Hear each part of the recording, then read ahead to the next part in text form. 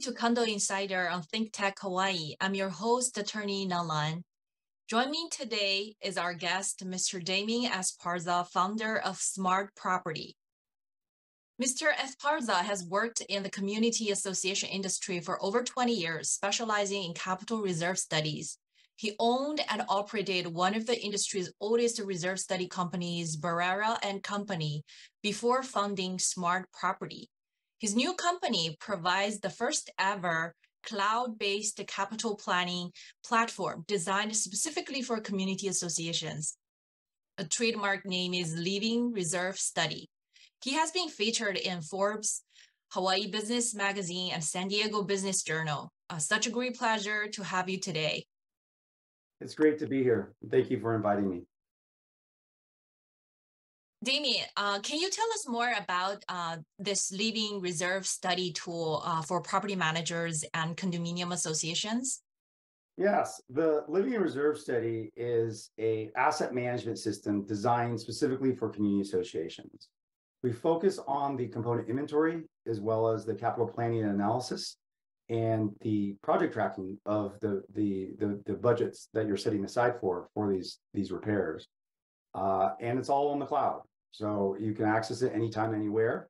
Um, our belief is that the information that you have to make decisions on when it comes to funding your repairs and developing a plan should be living. It should be accessible and it should be something that you can access and grow with over time uh, versus what we've really been using in this industry for the last you know 20 plus years that that I've been in it, which are static reserve studies, right? They're paper based or Excel spreadsheet, and that information gets lost. So ultimately, the the boards have to recreate the wheel, and they're left with less information to make really big decisions. And so what that does is it creates a culture of deferral where decisions don't get made, and over time, you know that creates deferred maintenance, and it costs more, you know, to get those jobs done and in a lot of situations, boards as volunteers don't have the tools or mechanisms to ultimately, uh, you know, get or garner the trust from their communities. Uh, and then that leads them to, and again, to this kind of the spiral of deferral. So um, if my understanding is correct, it's really you're utilizing new technology to transform those traditional paper-based reserve study done by professionals on top of that, you're basically using technology to make this report more accessible and that could be updated uh, as you have more data, you know, from daily operations. Is that correct? Absolutely. And I think one of the real value adds uh, for associations, you know, at the end of the day, these are nonprofit mutual corporations, right? So associations are businesses. But these businesses are unique because they're they're not in the business of making money and they're in the business of really the, the, the, purpose is to preserve, protect, maintain these common area assets. Right? That's the fiduciary responsibility of these boards. And one of the things that they strive for, because they're nonprofit, is to keep the fees as adequately low as possible. And this is a struggle in, in, in this industry, right? Um, a lot of people, when they build or they, they buy into an association, um, we call it, you know, the, the self-cleaning toaster oven mindset, right? They think that the association is just going to self-clean itself, right? They don't understand that this is a business and the costs go up to run a business. And the only the true source, the primary source for that in many associations is just the assessments themselves, right? And so that has to come from those owners. And when they don't increase those those those contributions and, and those fees, they, they get in a little bit of trouble. So the real the real value that we see is how can we help extend the useful life? So you if you have good access to your information, what's the information that can help extend useful life for your components that ultimately save them money when it comes to these contribution increases that they have to um, sometimes uh, absorb. So the better information you have, the better strategies you have, the better confidence you have. And so all it really comes down to is trust and transparency um, and giving owners more control over that process. Yes, we've all read in headline news, you know, locally and nationwide, you know, nothing pissed off the unit owners more than getting a letter basically saying you're about to increase the maintenance fees two times or three times, or all of a sudden everybody needs to get a loan. The association needs to borrow from the bank to replace or repair certain major components of the building. And as we all know, if you properly fund your reserve studies, that was properly done. So, you know, there shouldn't be many occasions of special assessment and borrowing. It so really the planning ahead is super important. And the typical mistakes made by certain boards are, you know, kicking the can down the road, like a deferment. Yes. And that's why we're here today, having a second session this year talking about budgets, uh, reserve studies for associations. And, you know, we are in a very interesting time period right now. As you mentioned earlier, uh, you know, before we started the show, we, we talk, you know, uh, Hawaii, you know, this market, we're having seeing skyrocketing insurance premium, you know, increases at the same time, nationwide, worldwide, actually, every price tag is increasing. Uh, this is definitely more challenging because we do have a lot of old buildings in town. So, what if, from your, you know, professional point of view, from an industry, uh, you know, standpoint, like what's the trend you see down the road on capital reserve studies, and you know, is there any way, you know, for people to come out of these challenges, better strategize on that?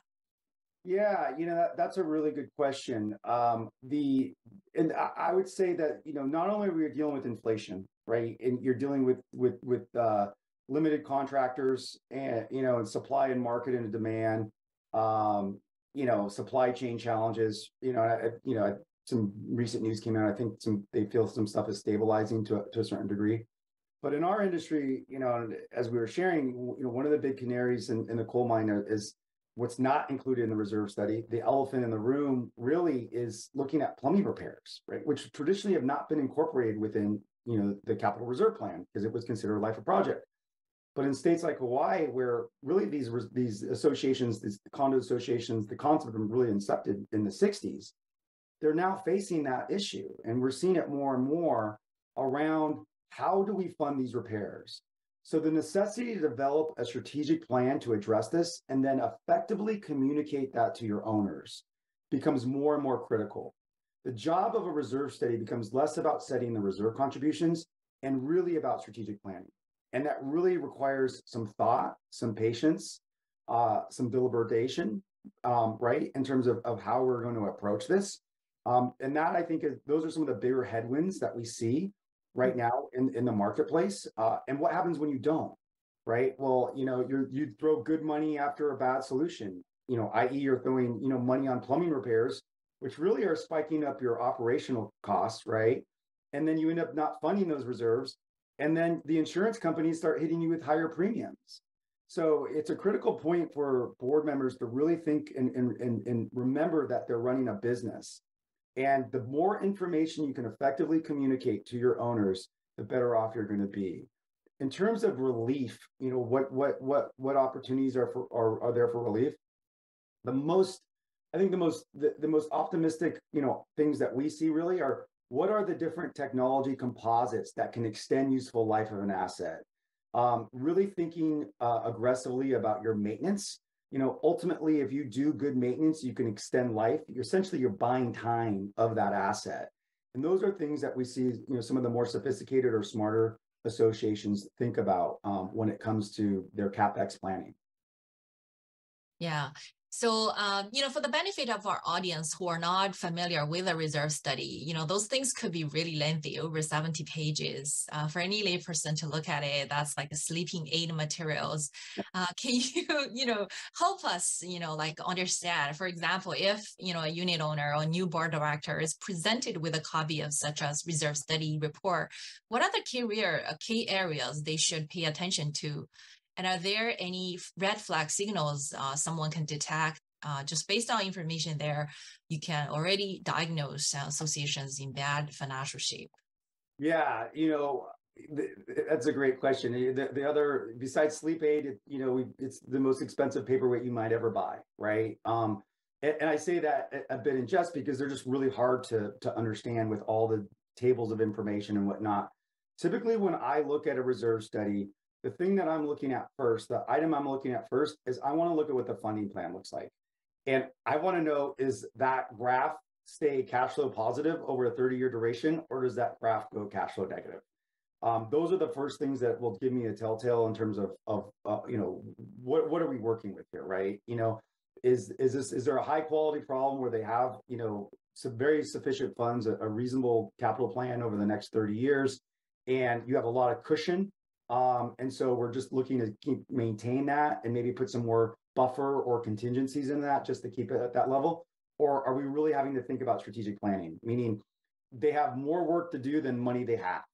And we need to think about phasing out some of these projects. We need to think about potentially a special assessment or some kind of contribution plan that's going to be able to, to kind of triage the work that needs to be done maybe punch some some you know effective maintenance plans into that the, the from a dollar perspective into extending some life of some of the bigger components. Um, so those that's kind of what goes in, into my head when i when i look at an initial reserve study in terms of you know what are the red flags. I also want to know what and this is kind of like a back of the envelope number you know I'll, I'll i'll ask them what are your assessments? and then figure out what are your contributions. If for example if it's an older townhome we know if, if, like for example, an older townhome, if they're only putting 20 cents of every dollar, right, into their reserves, uh, townhome, 30 doors, or I should say 300 doors, we know that that's not enough, right? We know that they should be probably putting about 30 cents, right? Ballpark, maybe 35 cents of every dollar. That's just based on some analysis that we've done over the years, um, looking at what healthy versus non-healthy associations are. So we kind of can do some benchmarking on that. Another big telltale for me is is this an association with let's say less than 100 units? If it's a if it's an association with less than 100 units, 30 years old, and they haven't been putting money away, there's only so much pain that you can spread around, you know, on, on 30 doors, right? Um, so the less number of units, in, in my opinion, you know, ultimately the, the higher that special assessment, you know, price might be um, if they haven't been funding, you know, for, you know, at, at an adequate level for, for a very long time. Because the other thing that we're always thinking about is what's not included in the reserve study, right? Understanding windows. Are windows included? What do the CC&R and bylaws say? Windows is a big one. Are there other building envelope issues that might not be included? Ensuring that all the mechanical equipment may be in there. And then last but not least, like I shared before, plumbing, right? So cosmetically, sometimes those aren't things that people look at when they first look at a reserve study. And, you know, a lot of people focus on photos because they understand the photos but it's not so much the things that you can see, it's the things you can't see within a building that typically drive up the cost a lot um, when it comes to the capital repairs and or special assessments.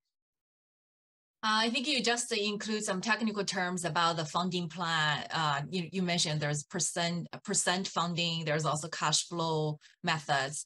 Can you give us, you know, the you know explanations on these basic terms so that you know our audience can understand our conversation better? Yeah. So, you know, and I want to make a distinction. I, I, you know, what I was sharing was, you know, back of the envelope, what, what we will look at is what are your total assessments and what percentage of those total assessments are going into contrib- in, uh, con- contributing into reserves, right? So is that a 30% mm-hmm. or, you know, another, another number? But that is just a, a baseline numerator divided by denominator. The, the other number that's used in our industry, though, is considered what we like to call percent funded. Percent funded is just an indication of your financial strength today. Think of about as a snapshot of your balance sheet. And the, the, mm-hmm. the formula there is very simple. It takes your total reserve cash and as an asset and it divides it by a denominator. And that denominator is considered your accrued, if you will, liability, right? You know, how much money should you have in the bank today, given all of your components, their replacement cost, and their current effective age and that will give you an idea in terms of what their indication of financial strength is. Mm-hmm. One of the challenges I've seen in my 20, 20 plus years, 22, 23 years of working in this industry is a lot of boards will focus on that number. The challenge is you can be 60, 70% funded today, but if your cash flow plan is going negative in 5, 10, 15 years, whatever it is, because you have a huge spike of, an, of, of, of a project coming, you know, down the road, I don't want to live in that association because you're ultimately going to have to do a big increase, right? So, you know, that's something that you really need to look at. You know, so going back to if you're an owner, right? What's our percent funded, right? That's a number that's worth looking at. But then how does that relate to the cash flow plan, right? Is that cash flow mm-hmm. plan, you know, steady, going up and up and down, right? Based on expenses coming in and obviously income coming coming in as well, expenses going out, excuse me. Um, or is that going negative? So those are really important indicators, you know, to look at. So that's what percent funded, right? Everyone kind of uses that. That's kind of our hallmark in, in this industry, understanding your indication of financial strength. Then we have what we call funding plans, right? And so state of Hawaii has two modes that or models that you can adopt. One is called your cash flow plan, which essentially just like it sounds. you have to have enough cash in the bank for every year for a, over a 30 year period to cover those expenses. It can be $1. Now, the challenge with that model or that plan, if you will, is it doesn't have a lot of buffer. So if you're off in price, in you know components, right, included or non-included, any type of assumption, and let's be honest, reserve studies are a lot of art and a lot of science, right? It's it's it's not predictive in nature. It's a capital planning tool. It is a budgeting tool, right? So you know it's not going out getting scopes of work for every single project you're doing and we don't know exactly what inflation is going to look like in the future, right? Maybe we can say we, what we think in the next two to three years, but what's four, five, six, and, and so forth. So that's why we recommend getting these refreshed every year, at least a financial refresh, if you will. So the so that so that you know cash flow plan leaves you really minimal in terms of your buffer for risk management from a perspective. And then the other option in the in the industry is what they call percent funded.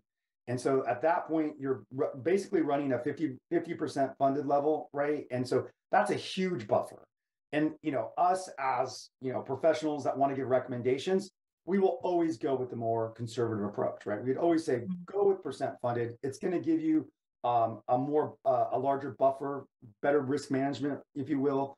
Um, but, you know, what's the challenge of that, right? Well, in a lot of situations, unless an association has putting been putting away you know, every dollar from, you know, day one of its birth, if you will, which typically doesn't happen at all, you're essentially having to do a huge spike or huge increase in what that contribution is going to be, and then hence what the assessments are going to be.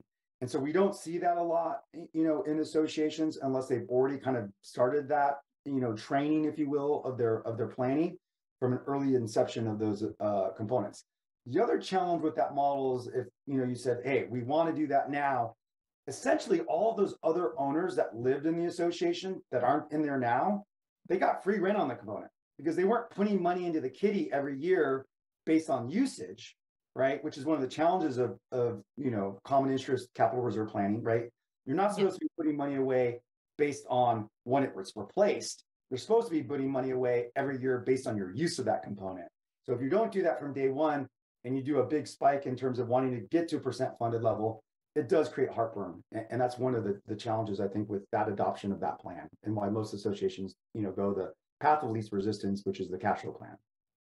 I see. So based on your experience, because like I think uh, Hawaii, they just require like a 50% statutory minimum if association choose to fund the estimated replacement reserve assessments uh, you know a percent uh you know or if the you know they use the cash flow cash flow plan they would have to fund 100% compared with the other states uh where where are we uh, as a state uh, you know in terms of the spectrum? Are we on the more restrictive conservative side or we are kind of like you know lagging behind? I, I will say, you know, the fact that Hawaii has a a requirement to fund your reserves is better than most states. Oh, that's good news for yeah, us to hear. I, I yeah, mean, but we also have corrosive air here, right? Components tend to de- deteriorate faster here. Yeah, yeah, true, true. But I would say that that that you know, you know, uh, um, I believe the law was passed in the initial. The first law was passed in '92, if I'm not mistaken. Mm-hmm, uh, mm-hmm. But yeah, I would say that that Hawaii was on the forefront of this, um, and I think that's a really good thing um, because a lot of this is about conditioning people's expectations. It's about conditioning homeowners' expectations. At the end of the day, this is about homeowners and the perceived value that they see, uh, you know, of, of the association and where their money's going, right? And I think in some in some situations, there's they don't see a lot of perceived value, right? Uh, they only see, you know, what they see in front of them. You know, they don't understand like that the fact that they're running a that they're part of a business and it's got an ongoing concern and it's got to operate like a business and it needs funds to operate like a business in order for them to get those high property values that they want, right? You know, yeah. everyone goes to Zillow and says, Did you see what the neighbor's house went for? Right.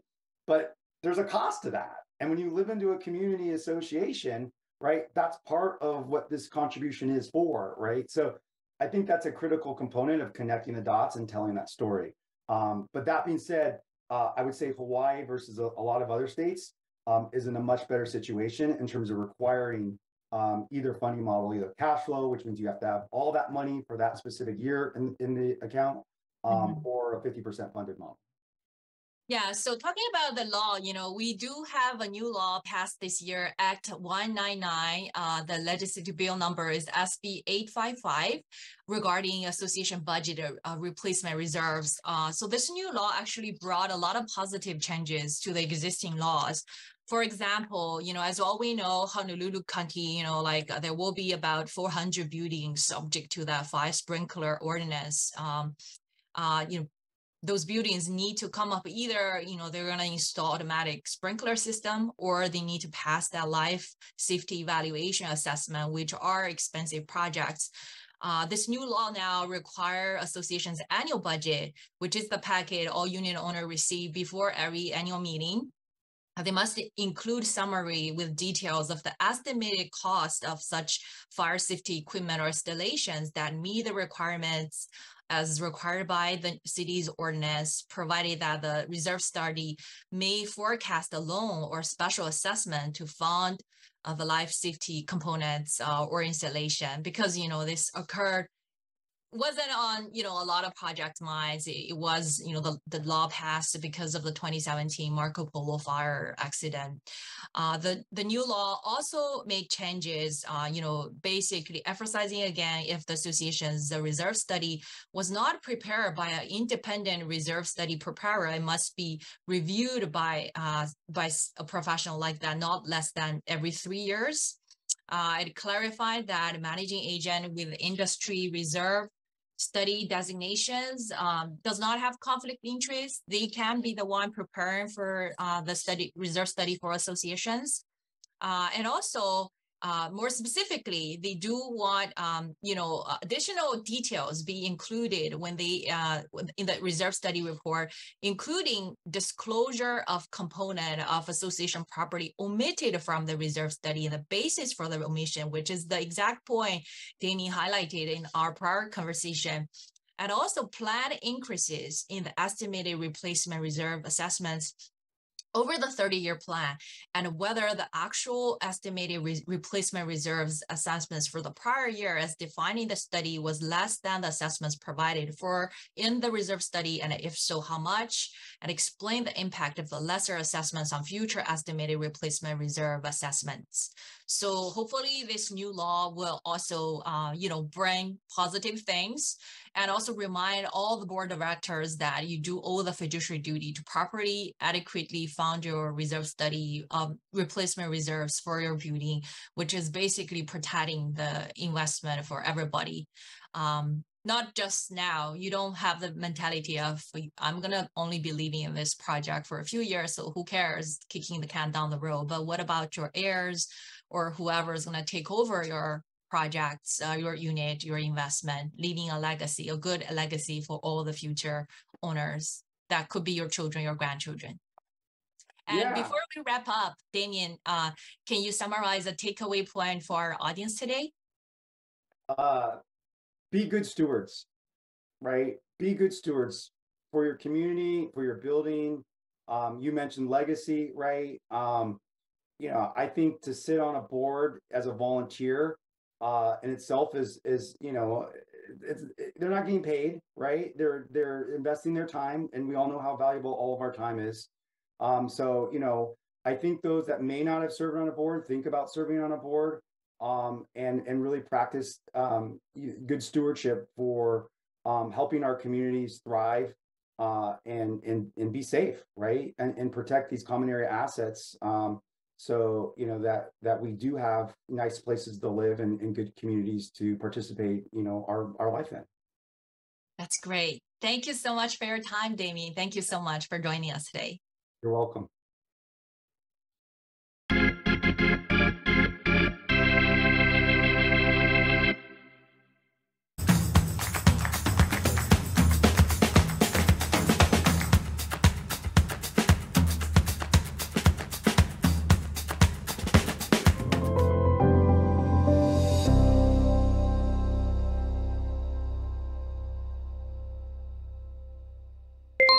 Thank you so much for watching ThinkTech Hawaii. If you like what we do, please click the like and subscribe button on YouTube. You can also follow us on Facebook, Instagram, and LinkedIn. Check out our website, thinktechhawaii.com. Mahalo.